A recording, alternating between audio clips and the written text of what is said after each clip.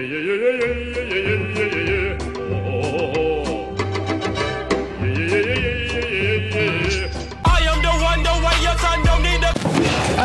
welcome to another episode of NGWN Music News. If it ain't new, news, it ain't music. And as promised, we are going to kick off this show by talking about this. It is Arctic Monkeys' latest album, Tranquility Base Hotel and Casino. And to say the media is in a frenzy is a massive understatement. How did it happen? NME are citing the end of days as they stipulate this record may be the Monkeys' final record. God, let it be so. and it has even been revealed that Leonard Cohen da da da is an inspiration oh, behind this oh, album. Oh, However, I tend to believe that it'd be much more like Ziggy Stardust on a lot of lewds. The record has received mixed reviews so far, even leaving the ever wise Noel Gallagher lost for words. I mean, come on, like this guy, who said he simply doesn't know what to make of this album. I'm not crazy. Uh, while he was being interviewed on Radio X. Yeah. Well, I do, but this show is for kids, so we're gonna have to leave that part out. And me? Oh, little me? What do I think of it? You dumbass. Well, I think the answer is simple. Just like their last record, the Arctic Monkeys have tried to adopt a sound that is not theirs. And with Tranquility Base Hotel and Brothel, we see them floundering again, having traded their desert rock and denim jackets for spacesuits and a Ziggy Stardust themed hotel. Yeah.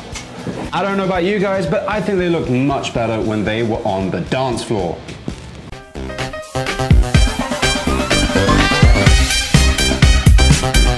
And in other recording news, Drake has completely lost the plot. Well, again, okay? We did it before, now again. And decided that the only solution to his waning career is a collab with his Canadian brother, a Paul Anka.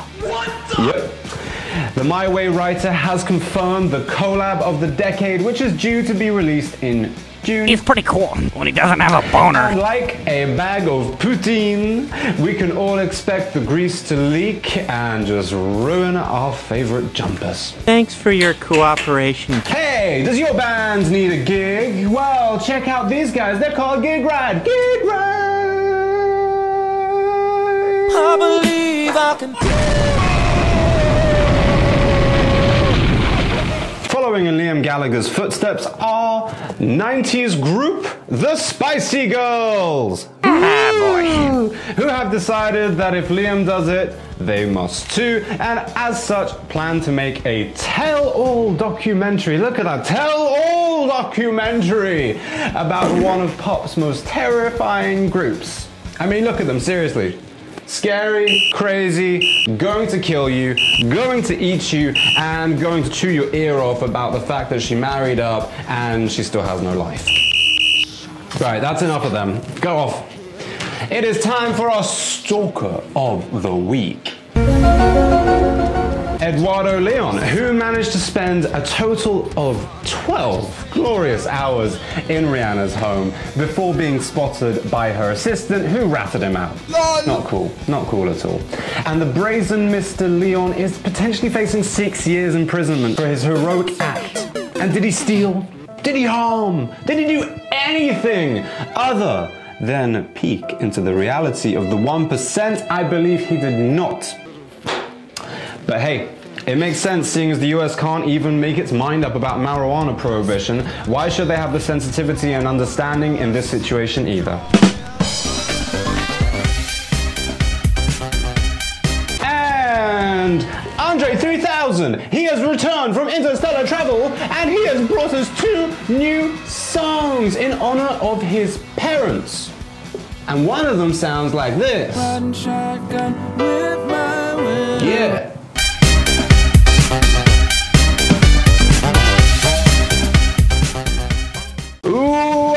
From that. And allow me to present you with this week's uh, uh, bad and so dang ugly buggly. Sitting in the ugly position, we have Skating Polly, whose release, The Make It All Show, is just a bit weird. Like a flower child skipping aimlessly through a field, this album is sure to leave you lost and just a little bit confused. LOL. And well, we all know who this smelly album belongs to. It is the Arctic Monkeys Tranquility Base Hotel and Sewage Treatment Plant. Nuff said. But making up for all the rubbish, it's Charlie Puth in the good spot. Okay, fine, it doesn't really make up for the rubbish, but at least I'm not tearing my ears off after two seconds, okay? And that's the week. This banana hammock in the suit. Or maybe he's naked. I don't know what he's doing this time. He's, he's really weird. He just gets in there and does stuff. He's doing stuff 8 p.m. Wednesdays every week. Dig it, dig it, dig it. Go click it. And if you've got something to say, then just don't freaking spray. I've had enough of that spraying, yo, because I am out. I am the one, the you